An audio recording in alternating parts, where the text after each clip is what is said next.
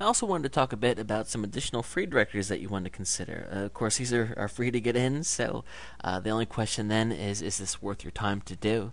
And uh, I there there are some pieces of software that you can buy out there that will you know blast your website to thousands of directories, and I, I don't really do that because I uh, one thing I don't like to do is I don't like to get too many links pointing to my uh, carefully created website at once because that can sometimes uh, lead the search engines to to look at you negatively because you should naturally you should not be getting thousands of links in a day or two. So that's that's one concern I have about those blasters. Uh, so what I what personally what I try to do is I try to to pick the best ones and just stick with those.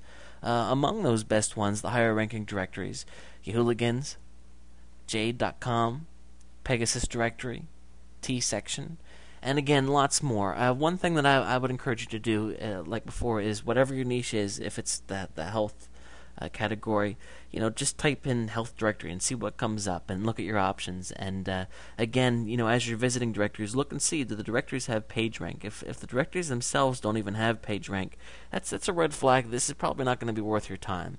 But uh, you know, if I go to to Google and I type in health directory, the ones that come up at the top, chances are, you know, they're going to be pretty good. So you might want to consider getting in those.